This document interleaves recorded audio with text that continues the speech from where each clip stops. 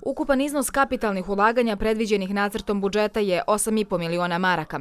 Gradonačelnik Trebinja Mirko Ćurić navodi da je dosta novca izdvojeno za infrastrukturne projekte, kao i za projekte zapošljavanja i samozapošljavanja. Znamo da je Trebinje prvo turističko mjesto u Republike Srpskoj i da upravo ti projekti trebaju da nam budu prioritet.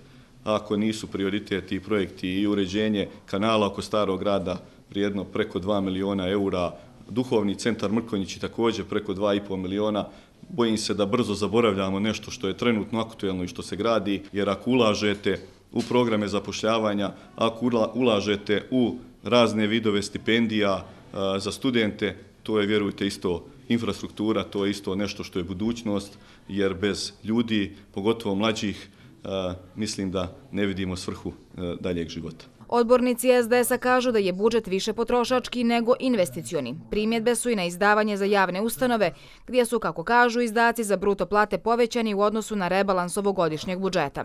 Primjedbu u nacrt budžeta koji ćemo mi vjerovatno opismenuti u vidu amandmana u sljedećem periodu je bio zašto nema izdvajanja za nijednu visokoškolsku ustanovu ustanovu u gradu Trebinju. Znamo da imamo tri visokoškolske ustanove i evo već nastavlja se ta tradicija da ni ove godine nemamo izdvajanja i mišljenja smo u SDS-u da ukoliko imamo izdvajanja za srednje škole da bi trebalo jedan dio sredstava iz budžeta grada Trebinja e, ovaj, ovaj, e, predvidjeti i plasirati visokoškolskim ustanovama znajući u kakvom je stanju naše visoko školstvo i u kakvom je stanju upisna politika visokoškolskih ustanova koje imaju u ovom gradu. Odbornici Skupštine grada Trebinje usvojili su izmjene dijela plana Novo Trebinje kojim je planiran prostor za slobodnu poslovnu zonu, te odluku o pristupanju izmjeni dijela regulacijonog plana Južni gradski izlaz.